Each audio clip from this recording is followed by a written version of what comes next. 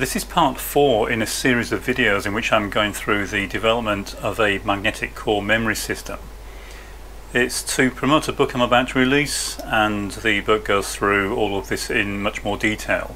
But I thought I'd release these videos for anyone that's interested. It does make a very interesting subject and is quite a fascinating thing to uh, develop and, and have a look at and play with. So the first videos went through the basics of uh, what's referred to as square loop ferrite material and I showed a curve tracer output using uh, this particular core. Now one thing I would say here is that the curve tracer was showing the uh, voltage current trace of a conductor passing through a single core. So the square loop reference is really relating to the behavior of the flux of the core, not of the current and voltage. So although you don't get a square trace on the curve tracer, the book does go into a lot of detail and the diagrams in there showing uh, how the flux behaves and uh, gives the uh, material its name of square loop. But the point is that the ferrite material um, can be pushed into one of two distinct magnetization states and that's what we make use of in the magnetic core memory system. So I demonstrated in the previous video how we could change the uh, magnetization state of this particular core. Don't know if you can actually see it, we've got a single core down here. Give a quick uh, close-up of that. So you can see there are four wires passing through it. In our final design we will combine the inhibit and sense lines but for the uh, purposes of this particular demonstration uh, I've got all four wires showing. In the next video we'll get rid of the um, inhibit sense pair and replace those with a single uh, wire um, but for this demonstration we'll keep them separate. So the first bit of electronics we need to develop is a driver to drive current through the uh, selection wires. Normally we have two selection wires uh, passing through the core, uh, the X and the Y. At the moment with this uh, setup I'm only driving the X wire uh, but I'm driving it with twice the current you normally would so the overall effect is the same as selecting this core in the memory system and the output we see on the scope will be the same. Uh, so what I've put together here is a uh, fairly high current bridge driver circuit. If you recall we need to drive current through the uh, conductor in both directions, uh, one for write and one for read. Uh, that's not the memory read and write functions, that is the core, uh, the, the ferrite core write and read function which I'll come back to later. So we have a full bridge circuit. We can't just have a bridge that is in one state or the other because we only want to send pulses of current through the conductor so we need to be able to turn the bridge completely off. So it's a bridge that allows us to select uh, current passing through in either direction and it also has to be able to switch um, inductive um, loads fairly quickly so it's fairly efficient and it is able to drive currents up to around 2 amps. Now we only need about 300 milliamps in our design so uh, it will easily handle uh, the currents that we will need it to. And this is the circuit that we're using in the final design. The IC on the left is just to square up the signal coming in from the uh, signal generator, just to make sure it's a proper TTL signal, so it's just a buffer. I'm feeding the um, signal generator signal into uh, one of the gates. It's a 74 LS04 and it's just to give us a, a proper TTL output so we can be certain that we're driving it in the way that we would in a, a target system.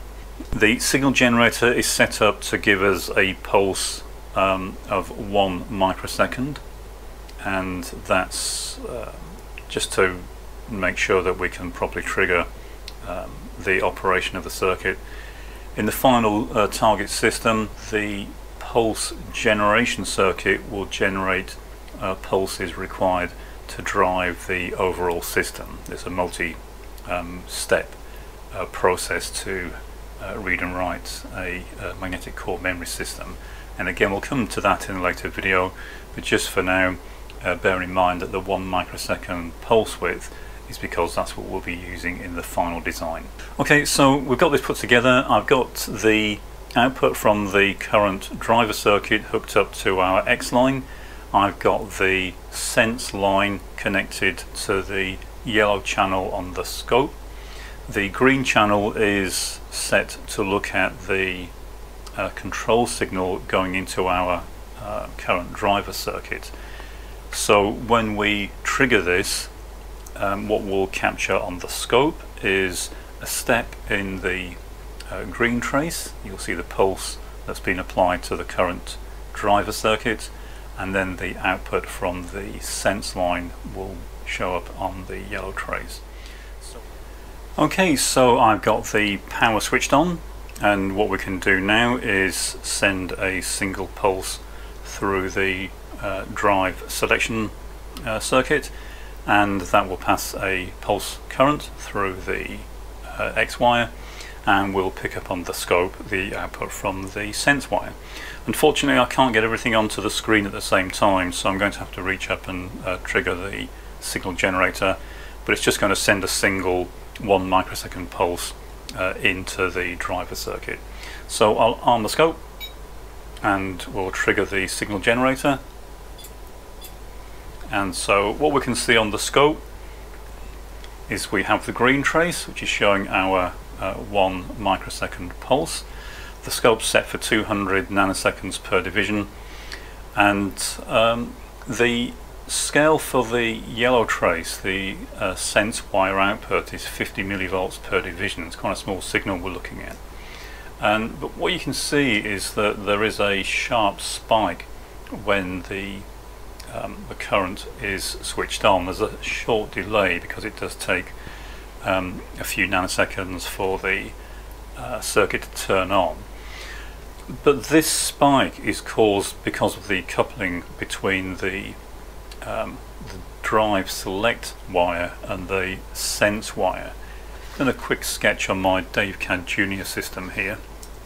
And so the ring represents our core and although the wires are straight going through it, they are effectively a single turn each in a transformer. So because we have uh, what is effectively a transformer, when we apply the pulse of current to the drive circuit, we of course get an immediate response on the sense wire because of the coupling, it's basically a transformer at this point. Uh, and that's not really desirable because although we could use it like this, um, it's better if we could get rid of this initial spike. And the way we can do that is actually relatively simple. We have a one microsecond um, pulse here and the size of this spike uh, due to this coupling is directly proportional to the rate of change of flux which is proportional to the rate of change of current. So if we slow down the rising edge of the current pulse that we're feeding into the selection wire it should um, reduce the size of this uh, spike that we're getting because the um, the rate of change of flux will be accordingly reduced as well. So it's quite easy to do that. The way I've designed this circuit um, there is a resistor in here that's meant to be part of a, um, a filter and all I have to do is add the second part of that which is a capacitor so I'll get that put into circuit okay and so if we send another pulse through the system we can now see that that um, spike has been very much reduced. We're still getting this hump that's not caused by the change of magnetization state. Uh, this is just still part of the coupling and the reason it's kind of wider and spread out is because um, this is showing the control uh, it's not showing the current through the wire. The current is now rising much more slowly and when it gets to um, a certain point that's what will control our core magnetization but this hump is purely the coupling between the two. Okay, so at the moment when we trigger the signal generator it's always passing current through in the same direction and because uh, as we went over in previous video once the core magnetization has been set for a particular current direction it won't flip state again until we reverse current. So what I can do is using this yellow wire is I can pass a current through the core in the opposite direction. Uh, I won't bother triggering the scope, this is just um, effectively the way we would write a value to the core. So I'm effectively now going to write a 1 to the core, which I've now just done. And if we now uh, send another pulse through the core, we should be able to read that one back and we should see the output on the sense wire um, that will be produced when the core flips back to the state it was in when this was uh, produced the first time. So we'll send another pulse and as we can see we're now getting this secondary uh, signal and that is the point at which the core is changing state. Now as I've said before when we do this um, because the core is changing state we're effectively deleting the information that we've programmed into it so if we try and read it again you can see that the uh, core does not change state again because it's already in the current uh, state required for this direction of current. Uh, but if we program a 1 back into it, another current, we can see that once again we have a 1 stored. So this is how we're going to make use of the core as I uh, went over in the previous video. If we send a pulse of current during our read, then if no hump is detected, that's a 0 and we can do that as often as we want and we'll get the same result um, but if we program a 1 into the core we can see that once again we get a 1 showing. So this circuit's working it's doing what we want. We have the ability to um, control the direction of current being passed through the wire. So if we drive current in one direction, then uh, we effectively write data to the core, and if we pass current through the other way, then we read the data back using the sense line. So the final thing we'll look at in this video is um, what we looked at in the previous video is how to prevent um, data being written to the core when we don't want it. So when we select uh, an X and Y location within the memory, we effectively select all the cores for that particular byte. But we might not want to write ones to all the cores. So we need a way to prevent um, ones being written to the cores where we need to retain the zero value. And that's where the inhibit wire comes in. So I'll hook up the inhibit wire, we'll try this again and um, we'll get the same demonstration we had in the previous video of how to um, prevent or, or inhibit ones being written into the core. Okay, so I've got the inhibit wire hooked up and it's uh, connected so that when I pass a current through it by turning on the second channel of the bench supply it will inhibit our ability to write a 1 into the core. So we'll just demonstrate that. So I've got the current in the inhibit wire turned off and we'll do a read just to prove that the core is currently unprogrammed and as you can see there is no hump so nothing is stored in the core. We'll do a write of A1 remember that the inhibit wire is inactive at the moment so we'll read back the value and as you can see we did successfully store A1 which of course we've now destroyed by reading it. So what I'll do now is turn on the current through the inhibit wire.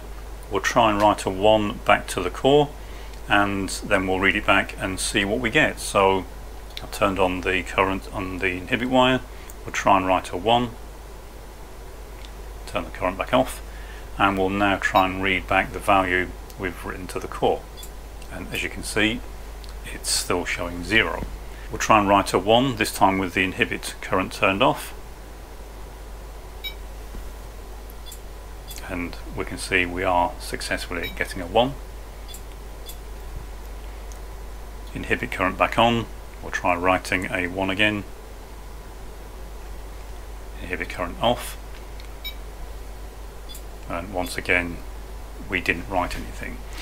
So that's the first step in the electronics. Uh, we've got the ability to drive current um, through the wire in either direction using our drive circuit. Um, the reason I needed to keep this fairly simple uh, is because we obviously need 16 of these for our 8x8 array.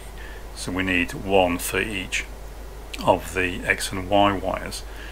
And um, so I can't go with a, a hugely complex circuit because um, it would obviously make the entire design way too cumbersome.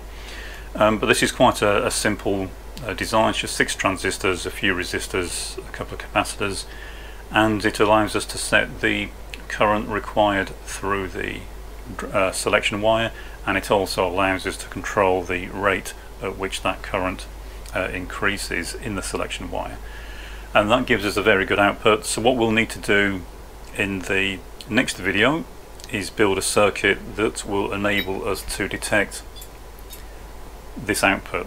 So what we're looking for here is to ignore this uh, first part of the output signal, which is the direct coupling that we always get, and we need to detect uh, this um, signal. Quite small, as I said, we're set here to 50 millivolts per division, and um, so in the next video we'll look at putting together a circuit that allows us to reliably amplify and detect that signal and turn it into a digital output from the system that we can read into a latch.